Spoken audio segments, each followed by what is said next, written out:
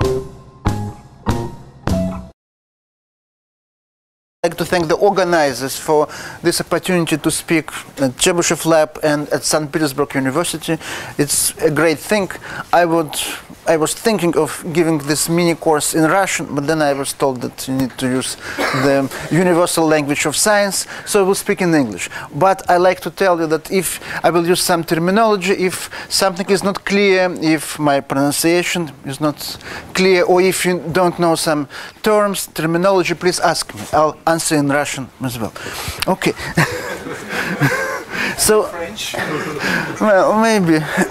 so, the, the title of this mini course is Introduction to Conformal Field Theory and on the example of the Liouville model. Actually, it will take maybe a one semester course or maybe a two semester course to explain. So I'll try to be very, like giving the very basic ideas rather like the anchors so you can put the whole thing if you wish to. And so I will be as precise as possible and whenever I will be using physical level of rigor or heuristic ap- approach, I will always say so, so you can clearly distinguish which statement are pure mathematical statement and which is physical heuristical arguments, which are very powerful as, as we know, and but they lack mathematical rigor. So let me start the first part, which will be an introduction, which I call from Liouville to Polyakov. From Liouville to Polyakov. And so hopefully we'll kind of cover maybe 150 years of development or so. So let's let me start very elementary, like a material maybe from a second year university course. So let's consider one-dimensional wave equation, like as it's written in the textbooks, like this. Or we can introduce characteristic variables, like x plus, and then we can rewrite this equation in this very basic simple form. And from this we easily as we all know we can recover D'Alembert solution the most general local solution of this partial differential equation. So let's write D'Alembert solution is that let me write in terms of characteristic variables or physicists call them light cone variables which is the same let's write one function of one variable plus another arbitrary function of a second variable. And these functions are arbitrary, well, assuming that they are smooth, so it's like the basic thing we do in maybe first or second year mm, analysis class. Of course, here we are using the fact that the space-time is two-dimensional. And then there are some remarkable things which happen exactly at two dimensions and which are no, no longer valid at dimensions 3, 4 or higher. So this is a particular example. And we'll see how it manifests itself in complex analysis as well. This, the fact that it's two-dimensional. So two-dimensional space-time. So one x and one t. Now let's consider, so this was known long ago. Now let's consider the Liouville equation. We'll see later what were the motivation for Liouville to consider this equation. So we are trying to, to this line. So let's consider the following non-linear partial differential equation of this particular type. Or using characteristic variables. So this is in characteristic variables, or we can write in space-time variables. minus 2 e to the negative. Well, let's write it plus 2 e to the phi is 0. So this is a typical example of linear hyperbolic partial differential equation with constant coefficients. This is another typical example of a non-linear equation. You can imagine. I'm sorry. I'm sorry. I need to. I'm sorry. I need to turn it off. Uh, I'm very much sorry. I apologize.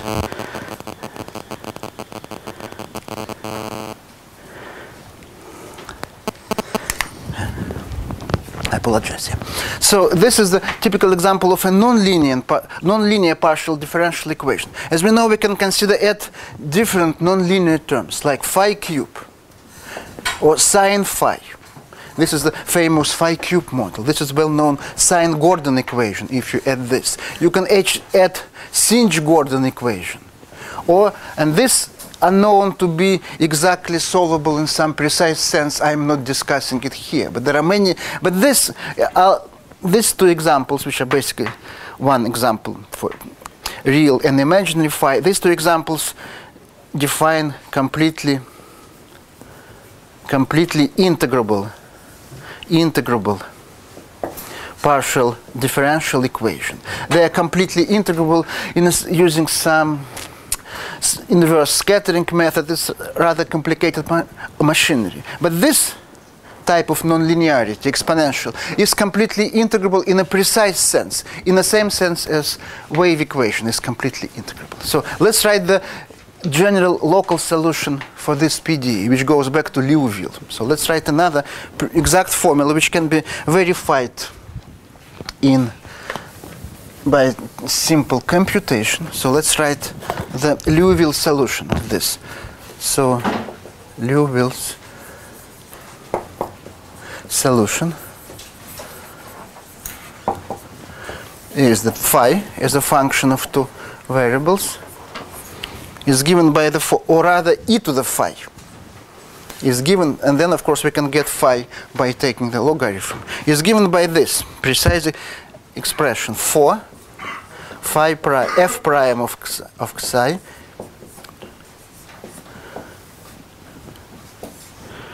f of psi So we have two arbitrary smooth functions, f and g, as in the case of the wave equation, and then we have this general local form. Here, we need, and where prime stands for derivative. I'm using the usual notations. I in indicate partial derivatives by the subscripts because I'm too lazy to write d by dt and so on and I indicate just ordinary derivatives by primes, right? So that's the general formula. And you can verify that phi, function phi, which is a logarithm of this, satisfies this equation by direct differentiation. We'll see what is, why, what is the meaning of this formula. It's very meaningful formula, like this one. We'll see them later. Have, they have nice functional, theoretical, and nice geometric meaning from two-dimensional geometry, geometry of two-dimensional surfaces. But this formula, in formula of D'Alembert solution, u is a real valued function. Then the only conditions are that f and g are also real valued. Now here, if we insist that f is a real valued function, we have more restrictions. f should be non-decreasing non function, or rather increasing, because exponent is never zero. So this, we have a condition that f prime is positive g prime is, posi is positive. And their difference is never zero, right? And f minus g is never zero. These are conditions for the existence of a smooth real value solution. So in this case, we have certain restrictions, which if you relax, if you consider f and g arbitrary real valued functions, you get some complex valued solution. Okay, so how we can understand such type of solutions. So here, let's consider elementary solution. Elementary solution. Let's take these functions to be the simplest. f of psi is psi, g of eta is eta, right? They satisfy all these properties, and then we get the elementary solution phi psi 0 is 4 over xi minus eta square. This is the simplest solution, just some given just a single formula. We can verify. And now the next step is to observe that this equation has certain transformation property if you change variables. So here, and that's the whole essence, u is a scalar function. So u is a sum of two arbitrary functions. Here phi is you have dependence on derivatives. This means that this Liouville equation has certain transformation properties. Namely, phi is not a scalar in some sense function, but it transforms under change of variables as a tensor. And using this transformation property, you can get the general solution from a single solution, using the way how phi changes after very simple changes of variables. You change psi independently and you change eta independently. Then, namely, let's state it, let, let's put it in writing. So you consider change of variables, psi to arbitrary function of and eta to another function. Then phi in this equation will be changed by, or rather e to the phi. e to the phi of f of psi g of eta times f prime of psi times g prime of eta. So if, if this function was satisfying the Liouville equation, then the new function will also satisfy the same equation for all f of psi increasing, g of eta increasing. And then using this property, we get this general local solution from this single solution. So that's the difference between the two equations. Okay, now what we were doing was like we consider these two equations as evolution equations because we have one spatial variable, another time variable. Now, as we know, this wave equation and Laplace equation are related by making the time variable to, to be pure imaginary. If you make this transformation, which in physics is called Wick rotation. Wick rotation. Or it's a passage, passage from Minkowski, Minkowski to Euclidean, Euclidean formulation of the theory. Formulation.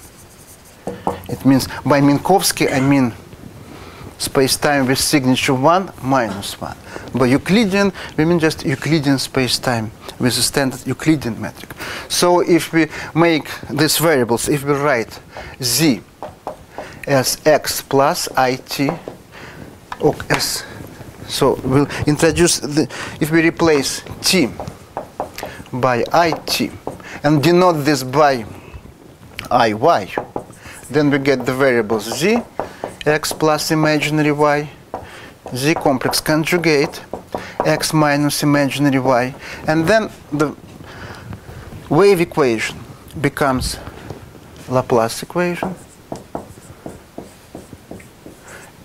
and Liouville equation becomes this equation f z z bar. I am denoting by z and z bar corresponding partial derivatives. So let's write one formula. d by dz is one half, or rather just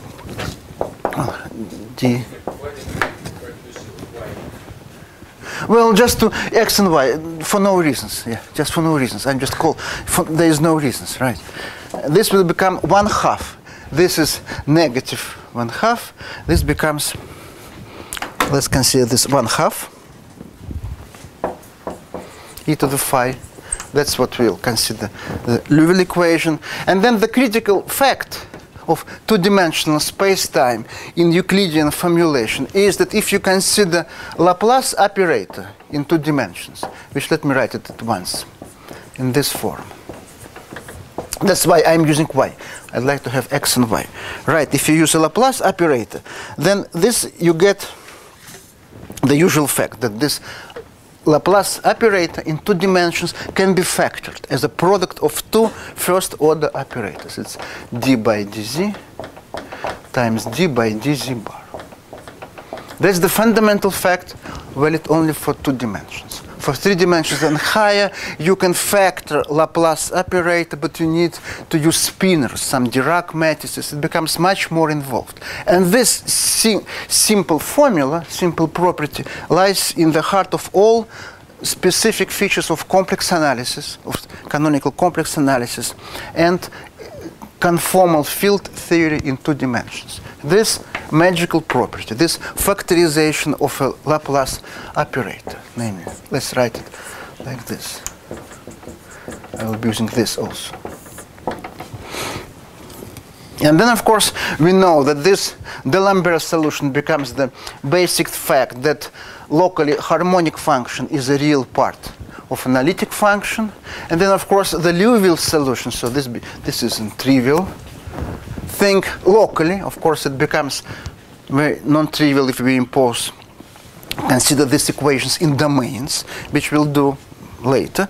And then, of course, then Liouville's formula, Liouville's formula or Liouville's solution becomes the following formula. It uh, phi of z and z bar. I'm writing in this form just to stress that phi is no longer is not a holomorphic function. Holomorphic function will be written as a function of a single variable, like f of z. Then we can write this equals to 4, or rather, right, let me write it in this form. f prime of z square divided by imaginary part of f z square where f of z is locally. All these arguments are very simple. Everything is local meaning locally in some neighborhood in some neighborhood of z. Local holomorphic or even meromorphic function of z. Holomorphic let me write holomorphic function.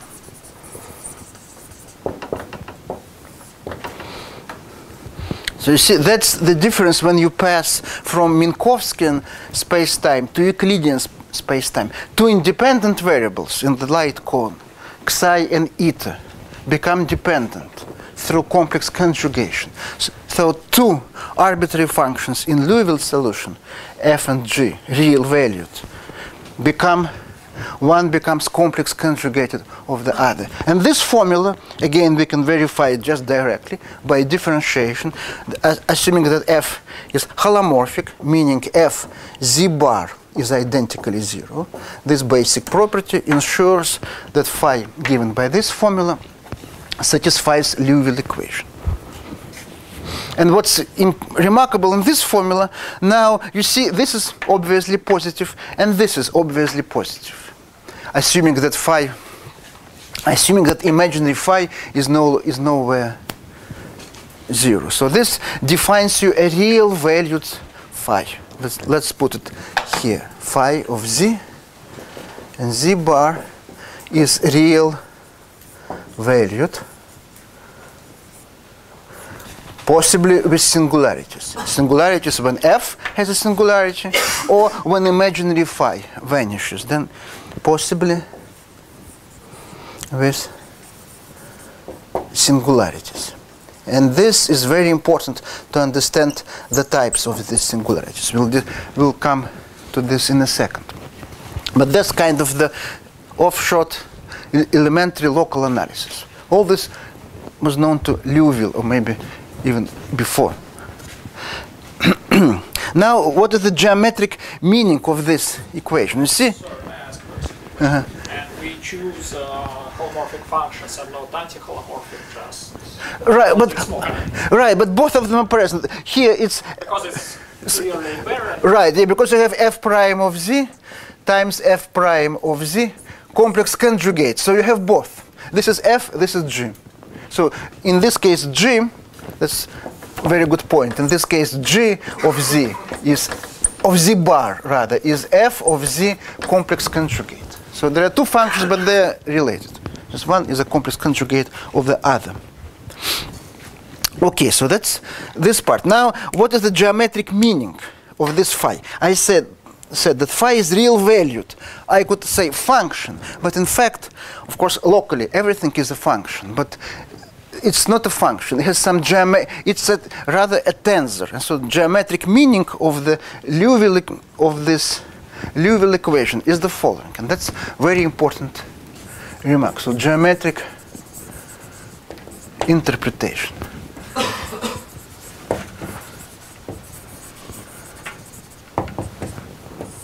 So you consider, well, consider two-dimensional surface, uh, oriented, oriented.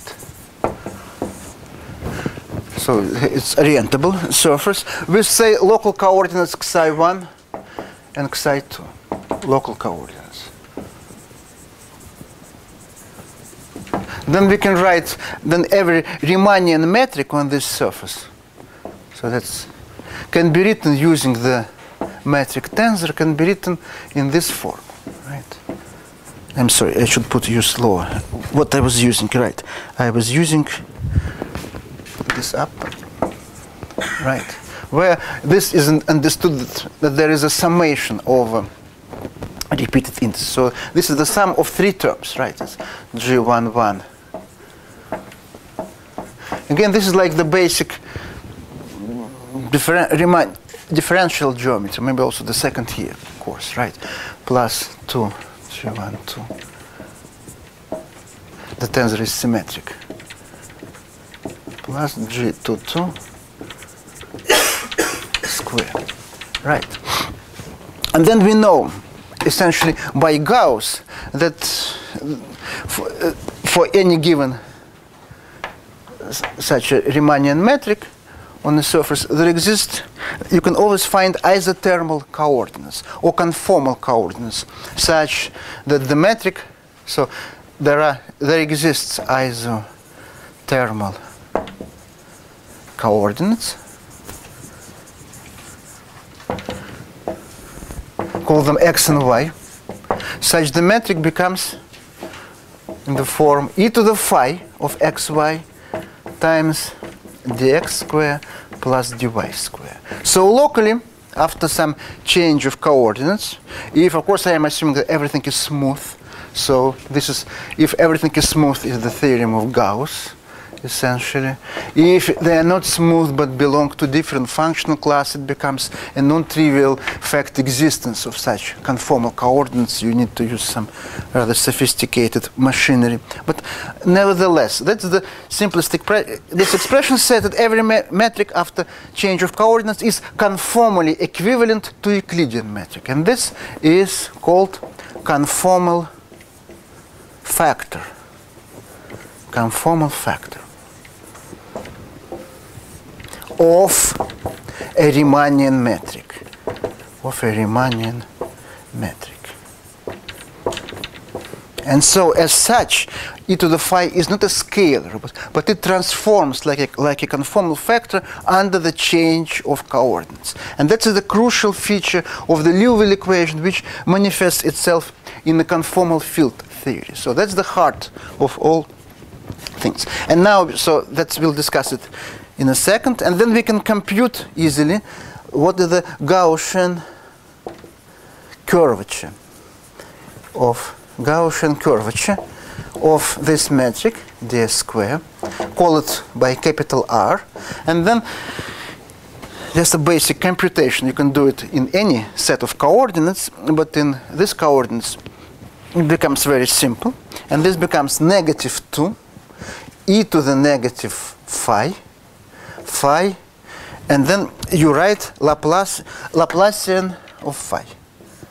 Laplacian of phi. That's another explicit form, another simple computation which I'm skipping. But of course, in order to appreciate all these things, one needs to do this computation. They're really elementary. So that's the expression for the Gaussian curve. And I made a mistake, should be one half, not two, but should be one half negative one half. And then the Liouville equation has a geometric meaning. So I'm, this part is no longer valid.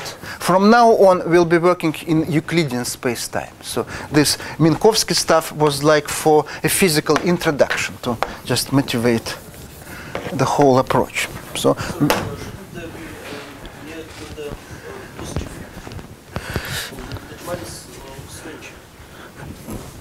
No, I think it's fine because then because this is a scalar curvature. Yeah, I think that's fine. That's fine. Negative.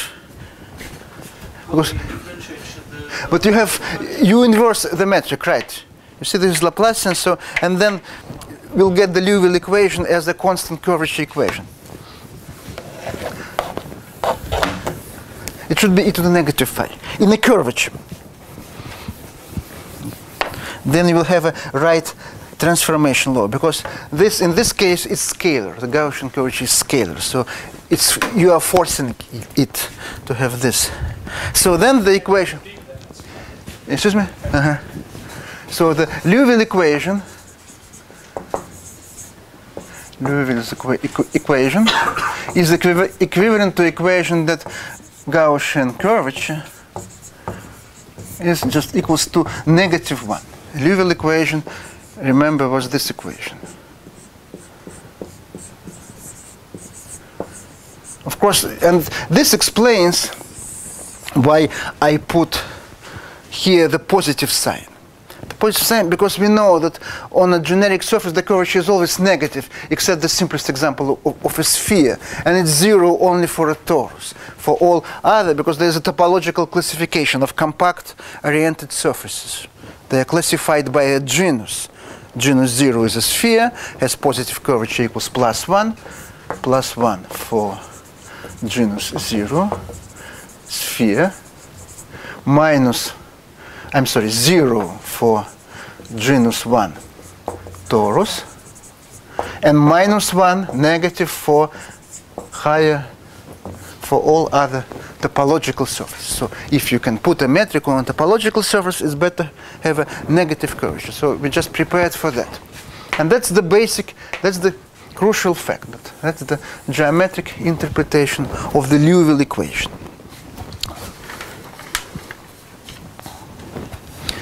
And now, so, and this explains essentially why this equation is so important in the theory of Riemann surfaces. And from here we can easily come to the conformal field theory, which in a sense, in non-physical sense, is a quantum geometry of Riemann surfaces is described by conformal field theory. But classical geometry, well, hyperbolic geometry is described by the Liouville equation. So, so that's the kind of... But before we'll discuss this, let me add one more remark about transformation properties of the Liouville field phi. So I'll keep this. What we, I can erase, let's compare these two formulas. So I, I'm erasing, this is written over there. So I'm, so this was the transformation property of the field phi in the Minkowski space-time. Now let's consider the conformal change of variables. Locally, z goes to w, which is f of z, conformal. Correspondingly, z bar goes to w bar, which is a complex conjugate. And under this change of variables, e to the phi of z and zw any conformal factor. So essentially, we'll, we are doing conformal factor. I could add e to the phi of z and z bar dz absolute value square. This is the same metric written in, in complex coordinates. Once you have isothermal coordinates, you can define z as x plus i y. And you get the local complex coordinates. And now we know that local complex coordinates in different charts, they are related by local conformal transformation. And these are these conformal transformations. So the corresponding solution changes e to the f of z. f of z bar. So you do change of variables times f prime of z square. So this says that e to the phi transforms transforms like a 1 comma 1 tensor tensor and under local everything is local. Local conformal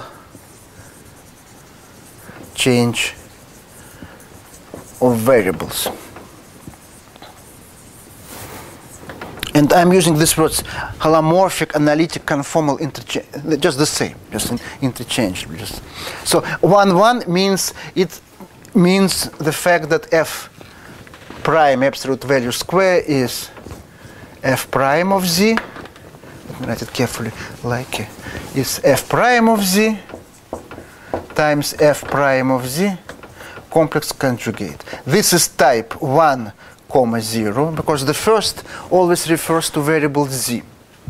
This has a type of 0 comma 1 because it transforms you count the number of derivatives. I will discuss it later, but just the conformal change of values. Totally, it's a 1-1 tensor.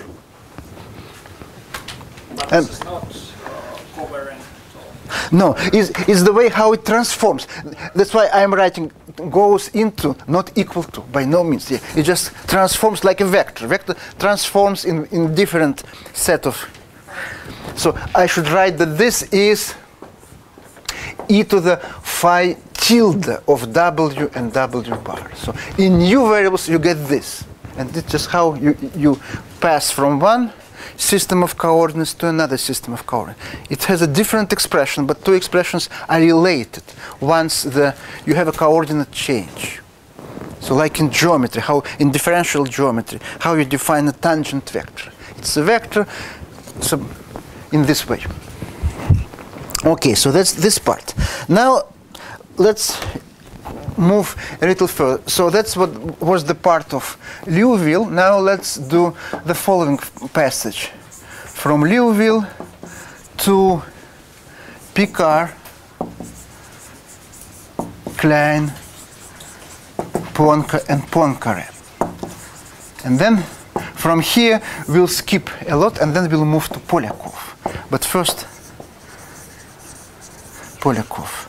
But first, let's discuss this part. So, this particular property of the Liouville equation is very important, is very in relation to the uniformization of Riemann surfaces. So, let's consider a special topic, Liouville equation. Liouville equation and uniformization uniformization of Riemann surfaces. Riemann surfaces. RC. Well, that's a special topic in itself, of course, and I need to define what a Riemann surface is, but this is an easy definition. Riemann surface, well, is one-dimensional complex manifold complex manifold. Of course, connected, always connected. And if you can add words compact Riemann surface, then this would be compact, one-dimensional complex manifold. Mm, But it, it could be non-compact. Of course, it's a cheating because I put everything what is a complex manifold. But this I will rather assume. Or in if you like, you can build this definition from this formula. So complex manifold is, uh, is built of charts, u alpha, u beta, with complex coordinates in each chart, z alpha, z beta, such that on the intersection they're related, the, the coordinate change, say from beta to alpha is given by some holomorphic function of local coordinates. Once you insist that this is a holomorphic, holomorphic, and and derivative is non-zero, so it's one-to-one locally. So it's holomorphic change of variables. So that's the same as if you like to define what is a two-dimensional smooth surface, you have local coordinates, and you say that in the intersection of the charts, they're related by a smooth by a smooth transformation, which is invertible. You replace the word smooth by the word holomorphic, and you get a Riemann surface. So, as a topological surface, it's two-dimensional. As a complex manifold, it's one-dimensional because there is a single complex coordinate, and it's so. You may say that Riemann surface X is has a covering by a chart u alpha, and for each chart u alpha, you have a complex coordinate, complex coordinate z alpha, and they're related by transition function, by coordinate changes, complex coordinate z alpha. And you can actually, every Riemann surface can be obtained in this way. The Riemann surface is compact if this, if this is a compact manifold. And it could be non-compact, and there are plenty of examples. Riemann sphere, you had there was, is a Riemann surface of genus 0. Torus, like a quotient of a complex plane by a lattice, is is a Riemann surface, and there are higher genus Riemann surfaces.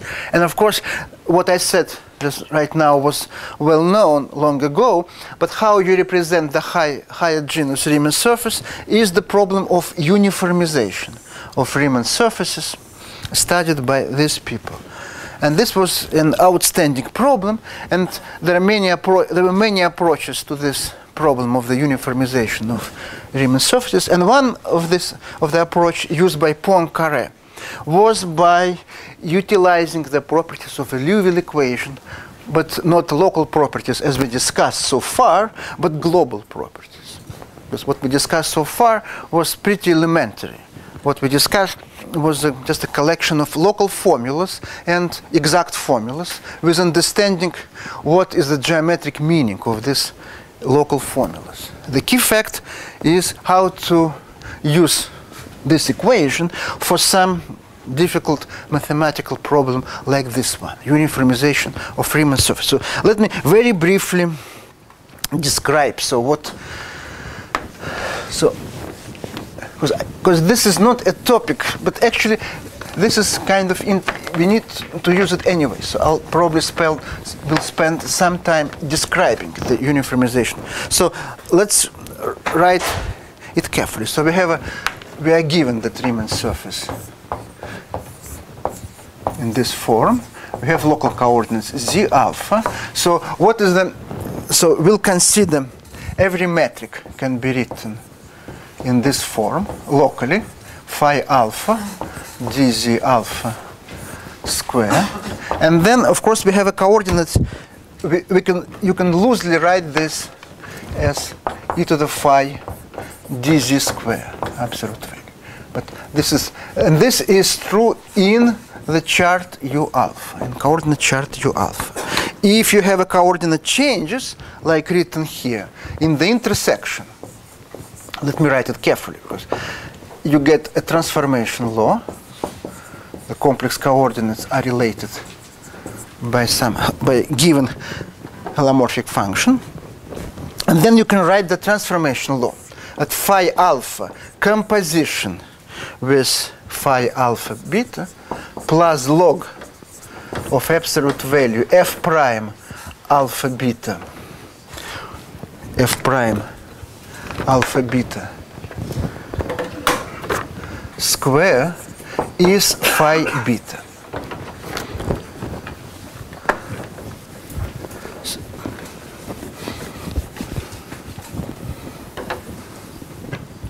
So here phi alpha composition phi alpha beta means phi alpha of f alpha beta, f alpha beta complex conjugate. So what is written here is, has a very simple, very simple interpretation. What I'm saying is that if you have a Riemann surface, now you no longer have a single coordinate chart. You have several coordinate charts.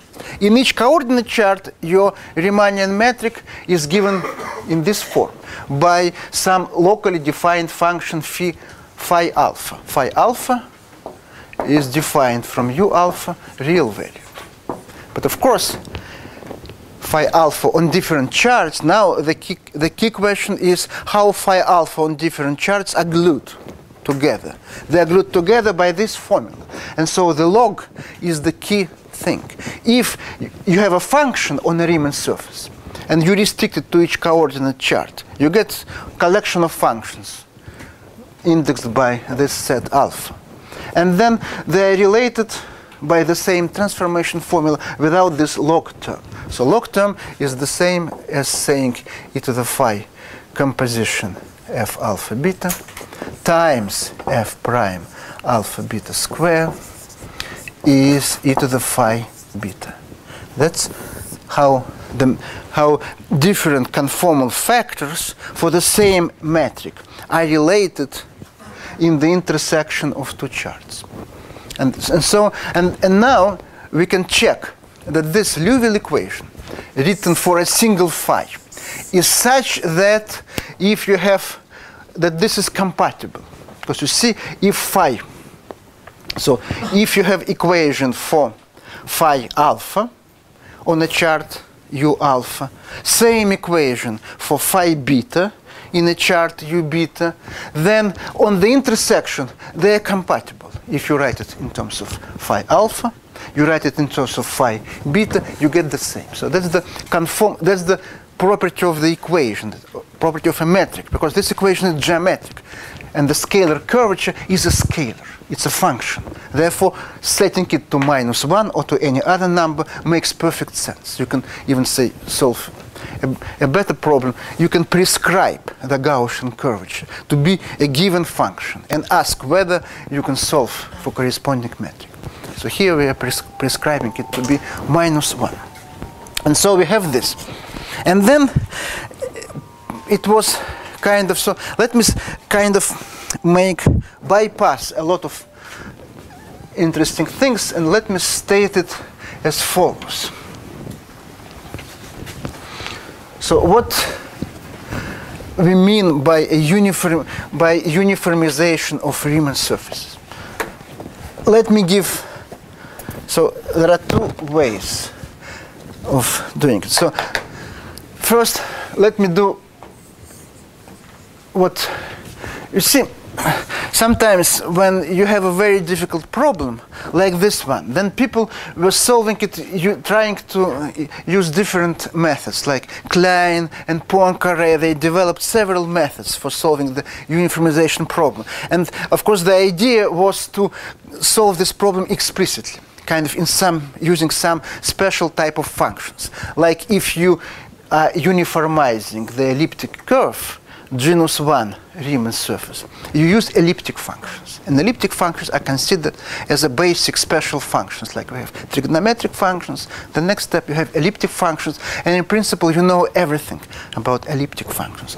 Now, how to uniformize a higher genus Riemann surface? Well, you need to come with some generalization of elliptic functions. And this generalization of elliptic functions is called automorphic functions. And there are plenty of them, and using these functions, you should uniformize meaning you should represent your Riemann surface in some canonical way. Like you represent genus 1 Riemann surface in a canonical way. Let's say genus 1, genus 1, x is always a quotient of a complex plane by some lattice, lambda. And so given a Riemann surface of genus 1, you can, there exists a unique lattice up to a certain modular transformation such that is given by this form. Same, so you have the same problem for, of, and you can get it by construct this lattice by using elliptic functions, and vice versa.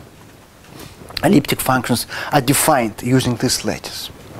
Now you'd like to solve it for genus Riemann surfaces. And in order to construct explicitly, Klein and Poincaré invented the whole machinery, which we'll very briefly review.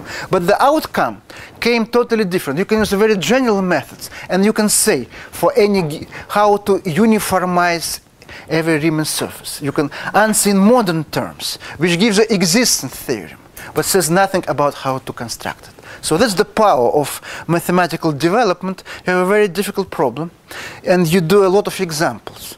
Finally, then the methods you are using are not enough to solve it completely. Then there are much more powerful, more general, abstract methods which allow you to solve this problem, but you lose a lot of information in doing this. So the answer, and let me so give you the example. The, let me state the uniformization uniformization theorem.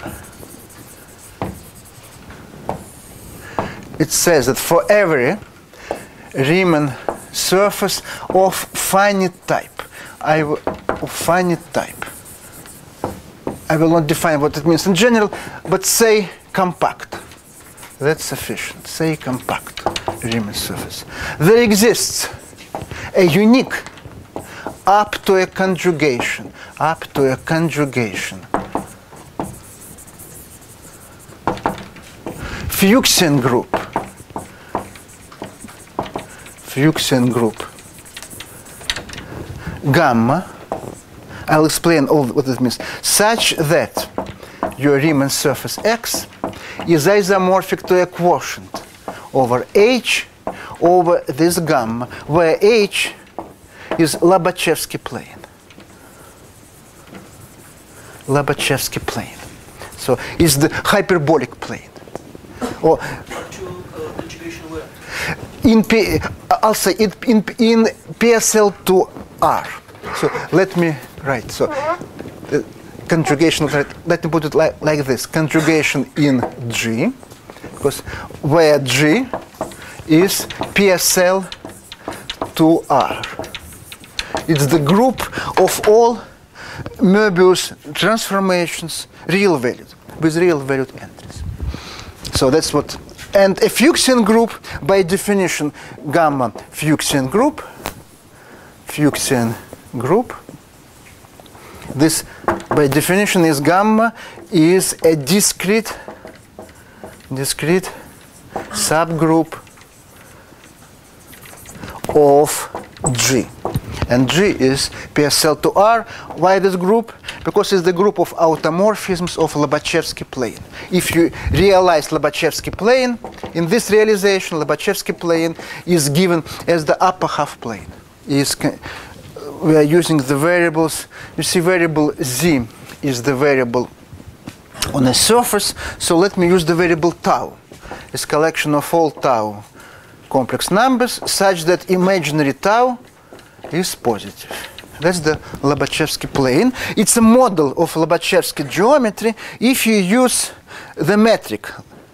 It's called Lobachevsky, but it's called Poincare metric. So the corresponding metric is ds square is d is dx square plus dy. Let me write it better. It's dx square plus let me write it better.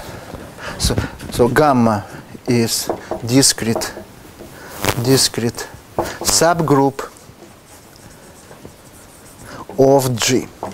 That's the definition of a Fuchsian group. Of course, the question is how to construct, and we'll discuss well very briefly because it's the whole another theory of automorphic functions and things like that.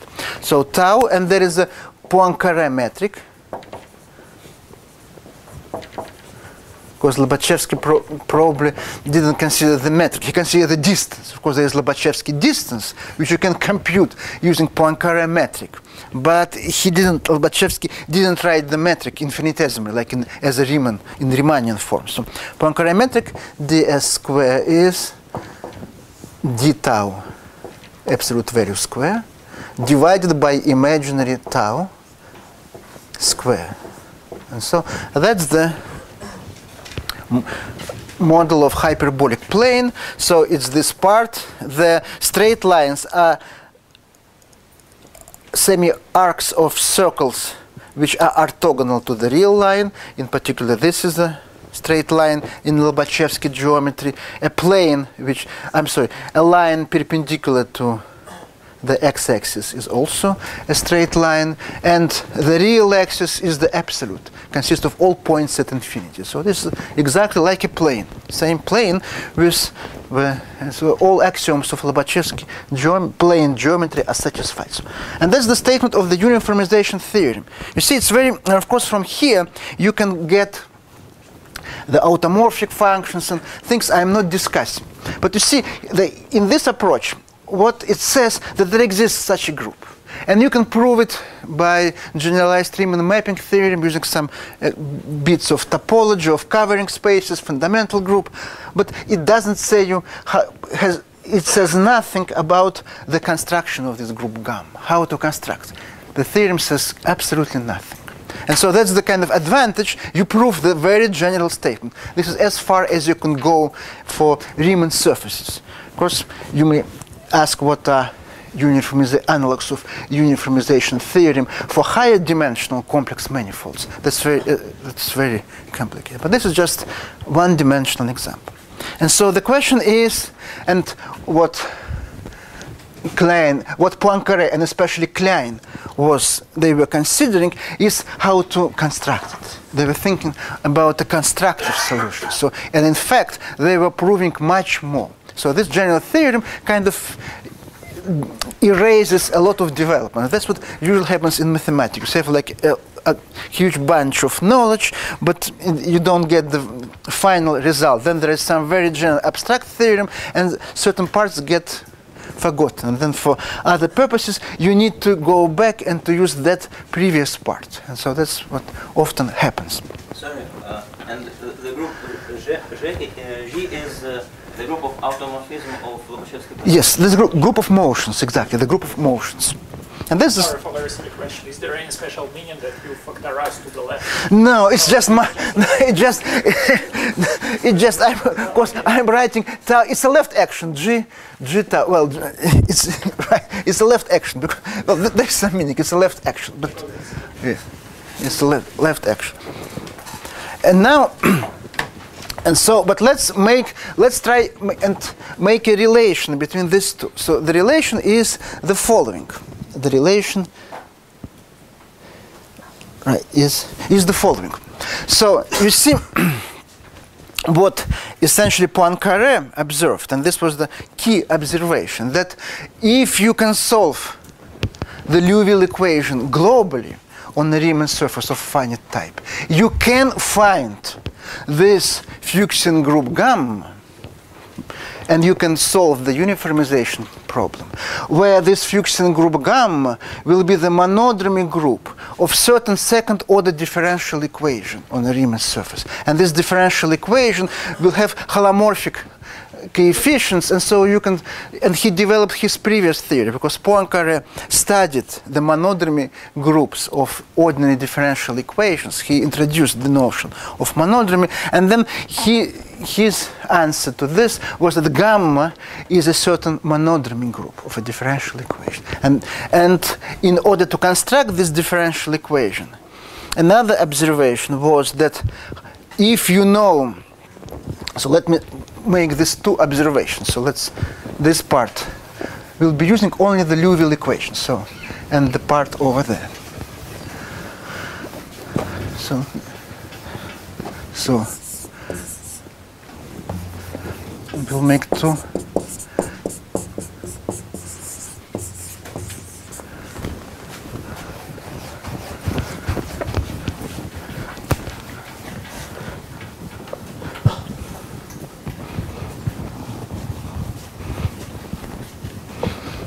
We have a Liouville equation. Let's write the, lo- the local solution, Liouville solutions.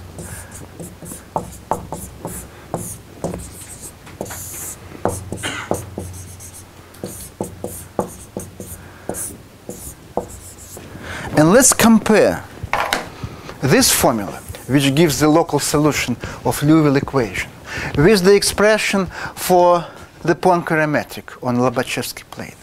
They looked exactly, and then, and so you see, if you have the uniformization theorem, your Riemann surface is a quotient of Lobachevsky plane by the Fuchsian group of finite type, meaning you have some certain fundamental polygon made of straight lines in Lobachevsky geometry, and you glue it together by identifying sites.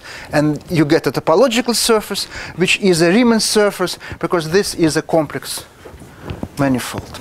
And then, if so, this means that there is a covering map from H to X.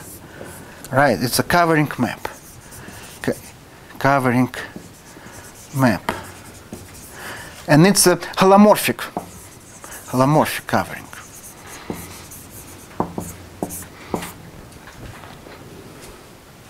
And locally, you can this is a covering. So and this is like it's unrami- if your Riemann surface is compact the covering is unramified. But you can consider locally over u alpha. You can consider, so let's put it in this form. Let's put that U, U alpha is a, sub, is a subset here. And so locally over U alpha, you can consider a cross section of this covering. Because locally you can call it F. And then you realize that phi alpha over this is given as a pullback of a Poincare metric on Lobachevsky plane on the U alpha. So if you have a uniformization theorem, if you have this covering map with all required properties, you can construct solution of Liouville equation globally on X using the Liouville formula, which is nothing but, but a pullback of Poincare metric. So that's the key observation. And then he made, uh, so this is kind of one, this is from uniformization, uniformization to Liouville equation, Liouville equation. So solution of the uniformization problem gives automatically a solution of the Liouville equation globally, global global on Riemann surface. Meaning we need to find a collection of functions phi alpha with this property, and each of these function is, or in other words, you can put alpha here, phi alpha, put alpha, alpha, phi alpha, and so that these are related. It's, it, it's so that's what we like to understand. So this is easy, right? For this part is easy. Once you know this, and of course there is a convert. What do you mean by global solution? Some other thing, No, of global solution for the Liouville equation. Liouville equation has global solution means you have a collection. In each chart you have a function phi alpha. F- function each of these functions satisfy Liouville equation. And these functions are related by this property. Yeah, but what I mean is that it seems that gluing all the local solutions together, what we obtain is a global solution which is not single valued. No, it's it's it's single valued. So in, in this way, it's single. It's a, why it's single valued because you see that's a very important remark. That's a good question because you see this is remarkable formula, and this is the same as as Poincare formula because this metric is invariant under Möbius transformations because group G is not on, it's a group of metric automorphisms of Lobachevsky plane. So this is PSL two R preserves this metric. And therefore there is no monodromy over there because phi is real valued. So that's the key thing actually. And so now we'd like to consider the relation. Now let's consider the inverse problem. That's what Poincaré was doing. Suppose you can prove that Liouville equation has a global solution on a Riemann surface of this form. Then, and it should be unique because it's no uniqueness is easy to prove. So, so that's the problem. So, uniqueness, uniqueness, uniqueness is easy.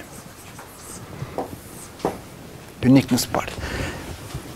And now, suppose you can prove that the Liouville equation has a global solution. And you can do it on a compact Riemann surface or of finite type. Let me give you example, the simplest example of a finite type Riemann surface. Finite type Riemann surfaces. Simplest, simplest finite type Riemann surface. Actually, we'll be using them a lot. Is is a Riemann sphere, Riemann sphere, pi 1, with several points removed. Just you take a Riemann surface with marked points, say with pi 1 minus z1 zn. That's the finite type. So it's uh, called called Riemann sphere, Riemann sphere with punctures. This is obviously essentially if even you remove a one point of a Riemann sphere, you get a complex plane. So if you remove two or more, you get a complex plane with several points removed. Obviously, it's a Riemann surface because it even have a global coordinate z, right? But some points are emitted, and it's non-compact. Obviously, this this will become very important Riemann surface for studying correlation functions. I'm just jumping ahead of Liouville equation. But, but this is an example of a finite type. So you have a compact Riemann surface, and you have also a finite type. And for both of them, and you can have in between, you can get a compact Riemann surface. You can get a compact, compact Riemann surface with punctures. That's the most general type of finite type with punctures. Punctures.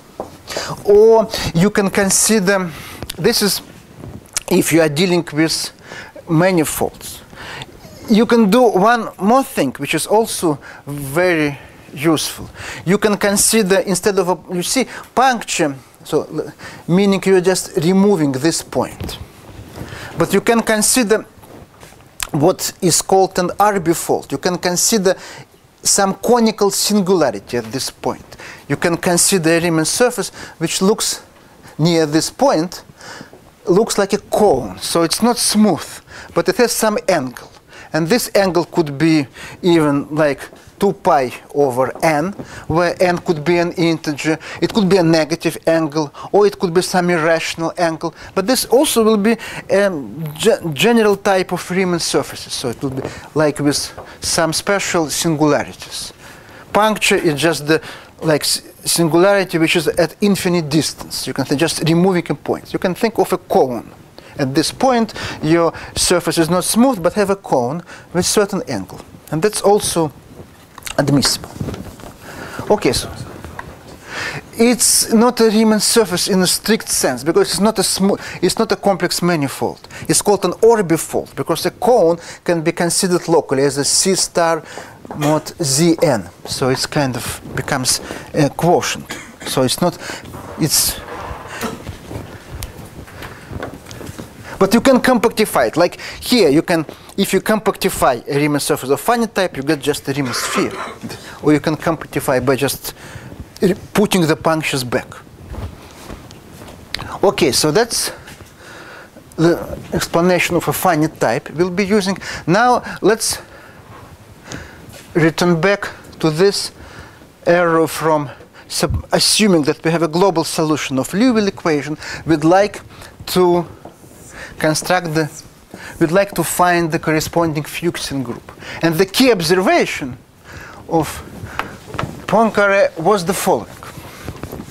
And this is what is used. So that's the key, another very explicit formula which can be verified actually.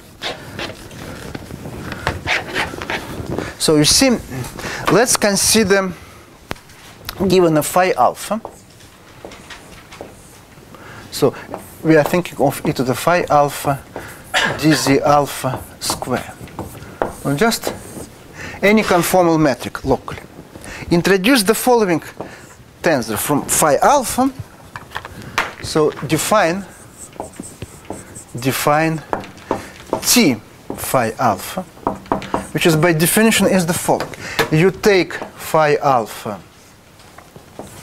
second z derivative minus 1 half phi alpha z derivative square. So that's what Poincaré introduced. So what I'm referring to is his 19, 1898 paper. 1898 paper. It's called Fuchsian. It's called Fuchsian groups and this equation. Poincaré actually didn't call it Liouville equation, he just called it by equation. Just so in this in this paper. And then the key remark is the following. If phi alpha satisfies satisfies Liouville equation, then T alpha is holomorphic. Holomorphic. And this is very easy to, ver to verify. So what you do, you have this equation for phi. Phi z, z bar in local coordinate is 1 half of e to the phi.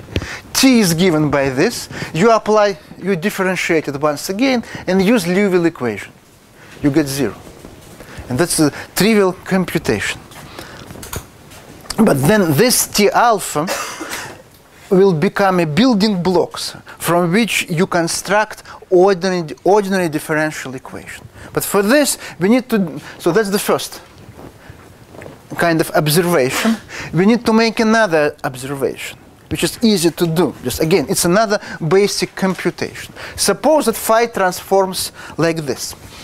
Suppose phi has this transformation law.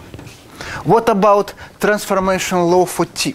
Call it t of phi alpha, call it t alpha for simplicity, t sub alpha. How, and you get, locally you get some function, t alpha. Then you can easily check that you have the same formula, t alpha, composition f alpha beta, times f alpha beta prime square, no absolute value, it just equals to plus, and that's the key thing, plus the Schwarzian derivative of f alpha beta equals to t beta. This is holds in intersection of two charts, in u alpha intersection with u beta. That's another fundamental computation. So the t has this very, so t transforms if from using language of differential geometry, transforms like a connection. It has a tensorial part plus an additive term. So in two charts, and let's discuss this property because from this and therefore in physics, let me just jump ahead. In physics, T is called stress energy tensor. Stress energy energy tensor. In conformal field theory, T is called stress energy tensor. So that's the key object. In fact, that's the key object of the whole development. And it can be constructed in this way. It can be constructed in this way.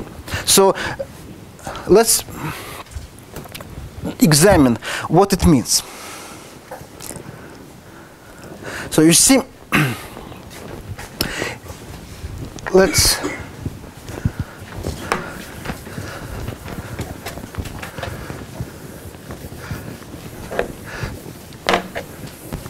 the key thing is the following. So suppose you have a chart with coordinates z alpha.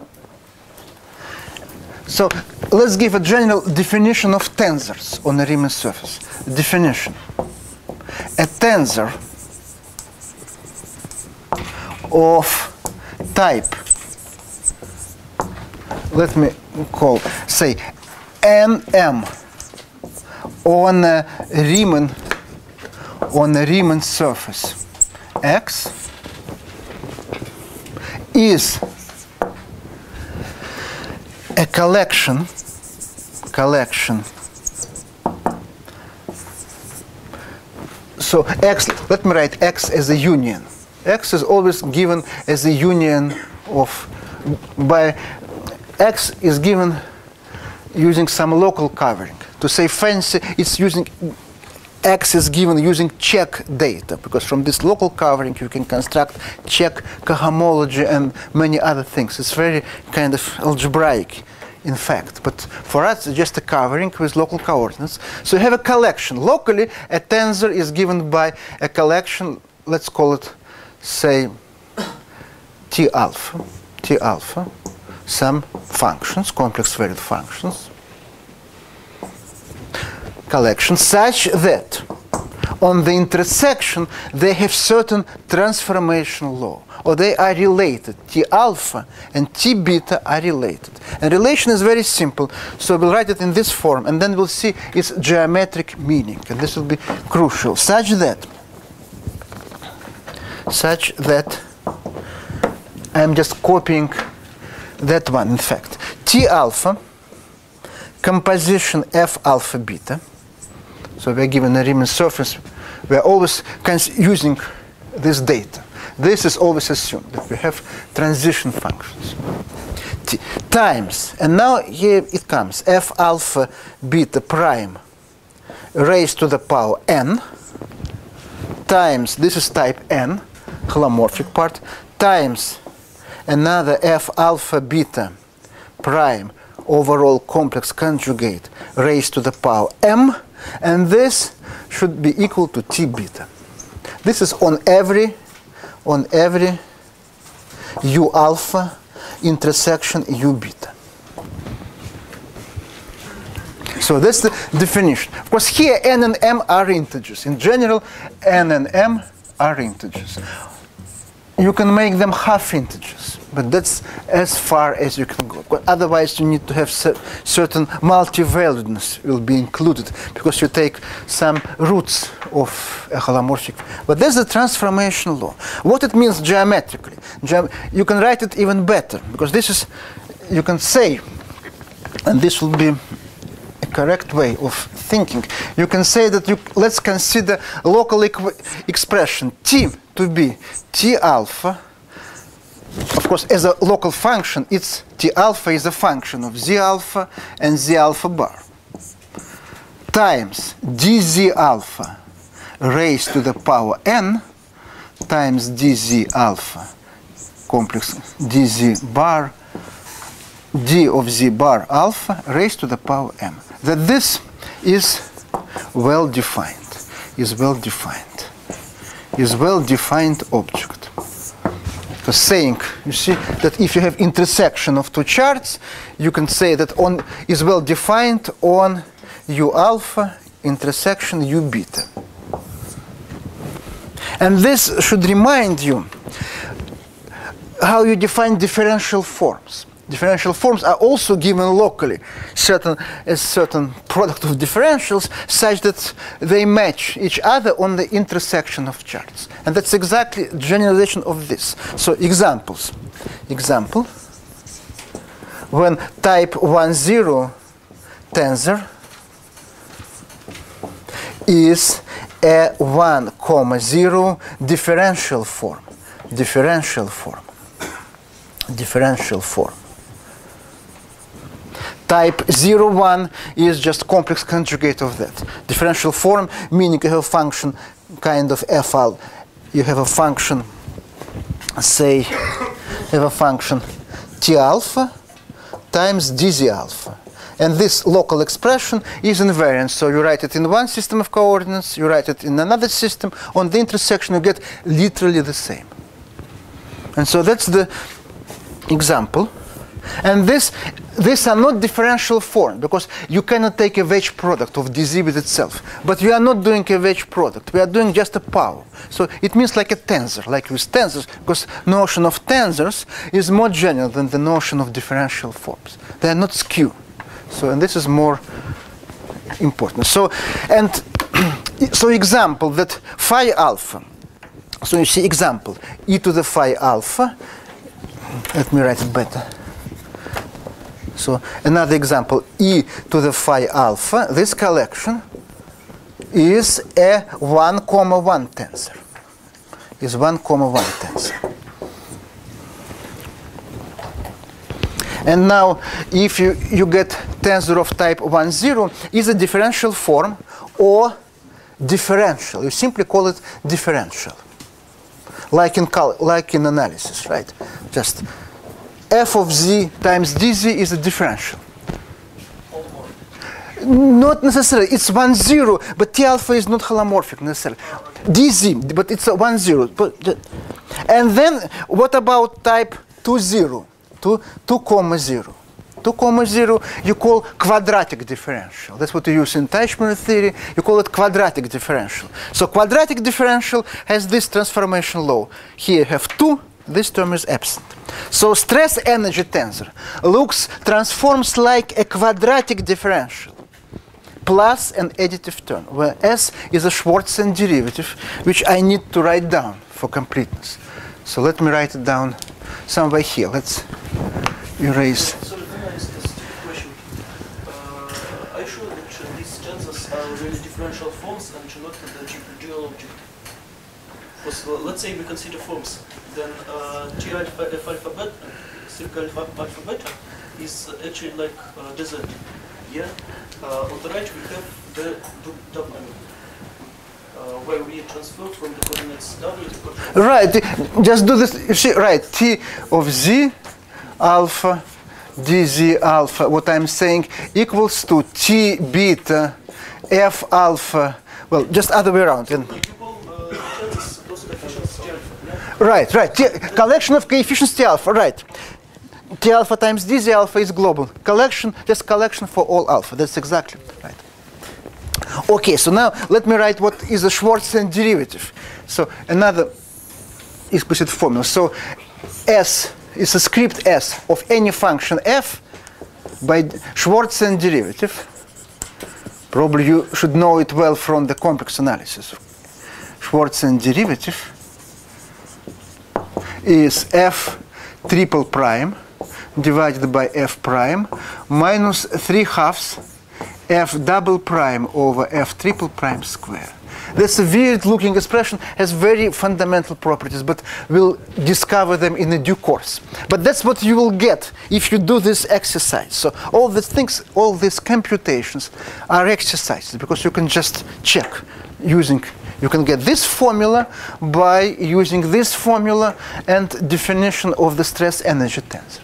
So Schwarzian naturally appear. And so T alpha, this collection of T alpha, collection of T alpha is called projective connection. Projective connection. Because affine connections is what you use in differential geometry. Connections in fiber bundles, in vector bundles, or principal fiber bundles. Connection, or they called affine connection, is old-fashioned language. Projective connection is kind of more recent. Was this terminology was introduced in the 60s by Gunning, actually.